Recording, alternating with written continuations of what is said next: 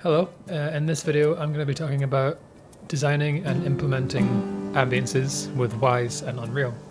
Again, I'm using this Western Town project that has a nice convenient day and night cycle, uh, and there's a couple ways that I'm using that. So for example, the time of day parameter is going to be driving a blend container. This just switching between a nighttime ambience and a daytime one.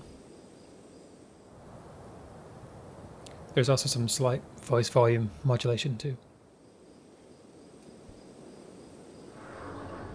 Some of the in-game emitters are also affected by this. So this is the town saloon.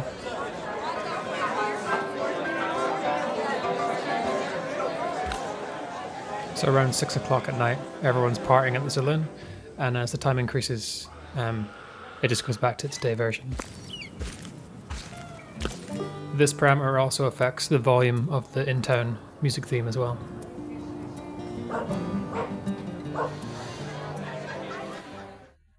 So the time of day also changes the wildlife emitters uh, in this scene as well.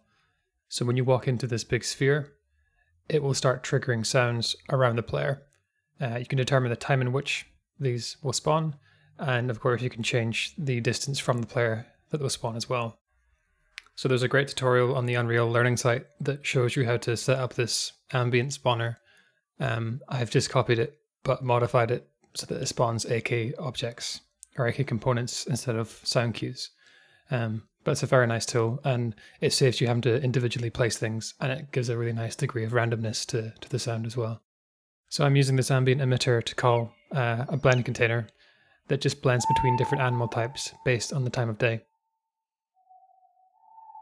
And I'm making use of the attenuation features here, where I'm just sending the signal to a reverb and delay bus uh, based on how far away the source is from the player.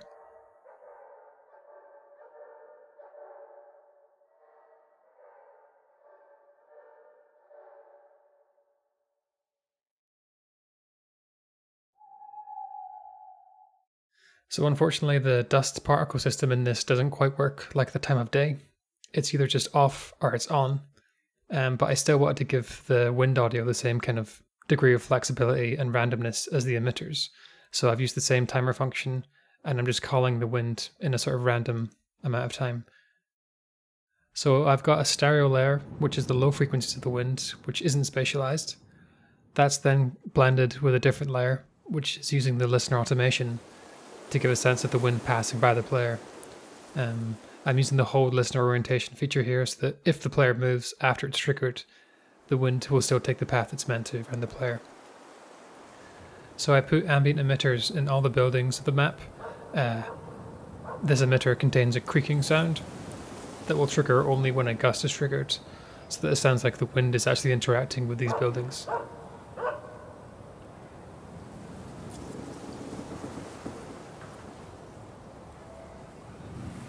And finally, I'm using a blend container for the rain, uh, which just simply fades between different types of intensities.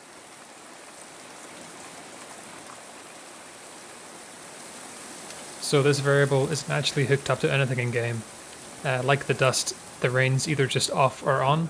So I made my own little HUD here uh, in which I can control parameters uh, that simulate how you'd expect certain systems to work uh, in, in a game.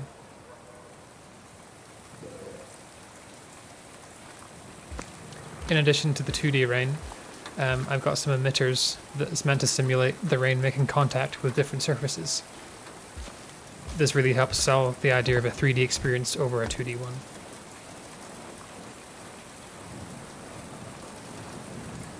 These emitters are also affected by the same parameter that drives the main 2D rain.